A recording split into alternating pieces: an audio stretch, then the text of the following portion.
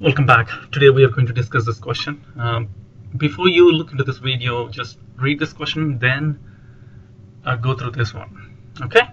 All right. Um, so this patient, 38 year old woman, she's on this medications, piperacillin and ciprofloxacin. And if she's dosed again with probenecid, which is an acid primarily and actively secreted with a very high affinity for the for the secretion carrier sites. Okay. So what will happen? What will be the effect? Which drug concentration will increase or decrease? Which drug concentrations clearance will increase or decrease? So let's see how and what's going to happen. So piperacillin, which is an acid basically, okay. So we can expect a competition with the secretion, the acid secretion sites because probenecid is an acid. So definitely there will be competition. And let's look at ciprofloxacin. Ciprofloxacin is base. As you're aware, drug which is a base will never compete with uh, an acid secretion site.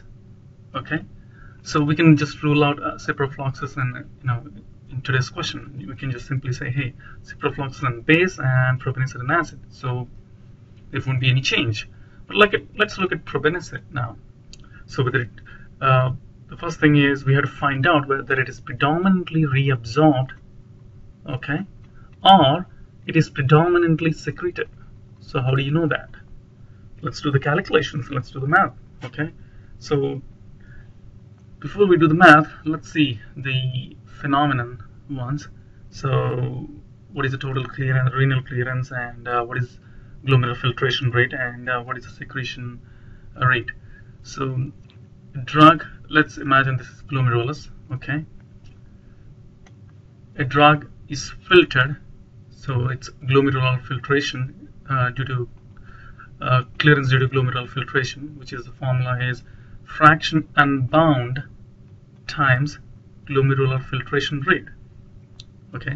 So glomerular filtration rate is 125 ml per minute okay? And the fraction unbound for piperacillin is 0.8 okay? 0.8 so that is equal to the value is approximately 100 ml per minute okay? So the drug is filtered across the glomerulus at a rate of 100 ml per minute okay? All right? But the, let's take a look at the total clearance we cannot calculate now the secretion as per right? Because we don't know how many secretion sites are actually occupied so it is difficult. So we always look at the uh, total renal clearance or clear renal clearance. So what is the renal clearance by the way? As you're aware from the formula we can calculate. So renal clearance is equal to the fraction excreted unchanged times the total clearance okay? This gives us the renal clearance so how do you calculate that? So the fraction excreted unchanged is 0.7 for piperacillin, 0.7 times the total clearance is how much? 20 liters per hour. Hmm, 20 liters per hour. So how do you convert this 20 liters per hour now? 0.7 times 20 liters per hour, right? So let's convert this into liters per hour to we have to convert to minutes ml per minute right? So 20 liters per hour that is 20 liters per hour it's per hour right? Okay so let's do it here 20 liters per hour right? So per if you want to convert it to ml per minute it's 20 times 1000 because it's ml divided by 60 okay it gives a value of 333 ml per minute approximately. Okay so now the renal clearance is 0.7 which is the fraction excreted unchanged times the ml per minute the total clearance. So 333 is equal to 233 okay so now the input is 100 ml per minute. It's a filtration. Okay. And the output is 233 ml per minute okay this is the input and this is the output so what is happening in the meanwhile how the drug is being added means the drug is being secreted predominantly right so let's say 100 ml per minute is entering and the exit is 233 okay even though there is an absorption the drug is reabsorbed back into the bloodstream okay? But still there is a 233 ml per minute output is there that is the renal clearance.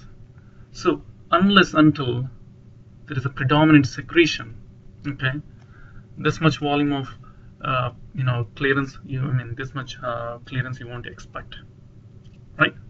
So this drug is predominantly secreted ciprofloxacin I mean piperacillin so hence if probenecid okay let's say this is a glomerulus okay okay and these are the secretion sites okay.